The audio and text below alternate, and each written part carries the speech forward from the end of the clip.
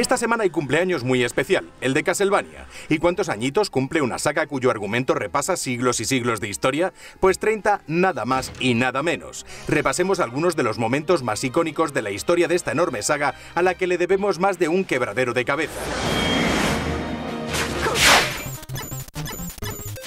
Fue el primero y vio la luz en la consola Famicom de disquetes para acabar convertido en Vampire Killer en MSX2 y en cartucho de NES para su lanzamiento en Estados Unidos y Europa. Como en todo buen juego de la era NES, ya todo estaba aquí. Comenzaba la aventura. Sí, la serie pasó por recreativas de medio mundo como Haunted Castle, un título más lineal pero con un aspecto para la época bastante impactante, y todo en una era en la que Konami dominaba el mercado de las recreativas.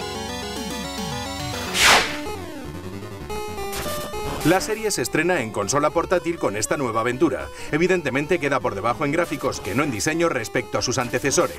En desarrollo, como siempre, una auténtica maravilla.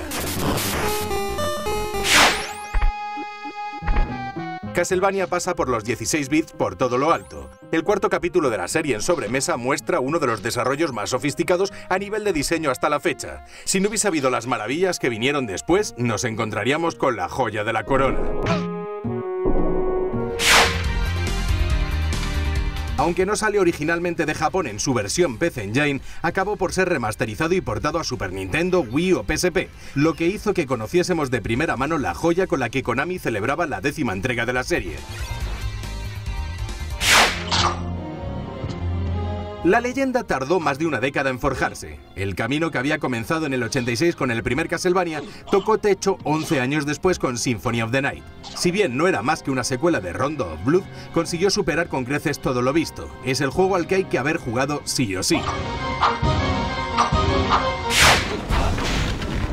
La saga comienza a trastabillar. Después de una maravilla como Symphony of the Night y acorde a las exigencias de la época, se intenta adaptar la serie a las 3D imperantes del momento. Pero nada de nada, Castlevania no consigue en Nintendo 64 su mejor capítulo.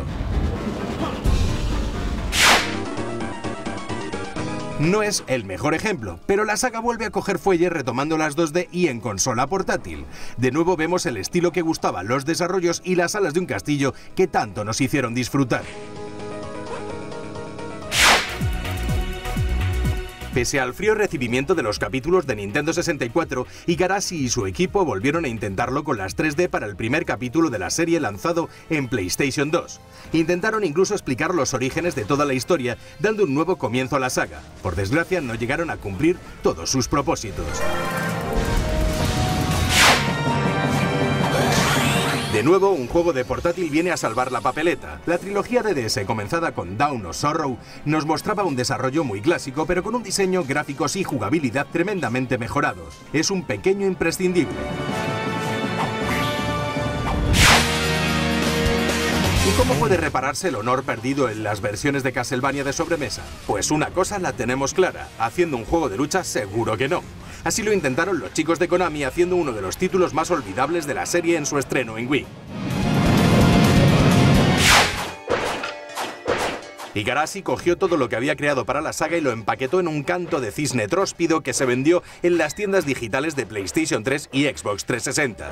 El resultado era un rato divertido, sobre todo en cooperativo, pero claro, era Igarashi en estado puro, para lo bueno y para lo malo. El mismo año en que Igarashi dijo adiós a su niño, Mercury Steam dijo hola. Su punto de vista fue el más exitoso que se hizo jamás, si nos metemos a valorar cifras, y su forma de entender el reinicio también fue el más comprensible, por lo menos para el público occidental. Sin embargo, no todo el mundo quedó contento. Mercury probó suerte con portátil, de nuevo consiguiendo captar algunos puntos del estilo clásico de la serie, pero dando un punto de vista nuevo, tal vez demasiado lineal para lo que acostumbrábamos. Sin embargo, la belleza de este título hablaba por sí misma. Se acabó. Mercury Steam echa el cierre a la serie, recibiendo oleadas hater por su trabajo en la secuela de su primer juego. Los fallos de jugabilidad jamás habían costado tanto a un título, y los fans de la serie, por no entender el punto de vista de esta secuela, terminaron condenando a la serie a esto.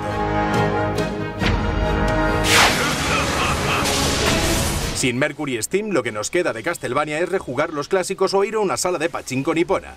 Sensualidad, vampirismo y un Drácula que parece más de la ostra azul que de Transilvania. Y todo para ganar bolitas metálicas. Menos mal que Igarashi sigue en pie y que algún año de estos nos devolverá, aunque sea el espíritu de su obra. O no, que ya uno no sabe qué esperar. En todo caso, felicidades, Castlevania. Hasta aquí todo por hoy. Próximamente más vídeos y más reportajes en Vandal Televisión. Te esperamos.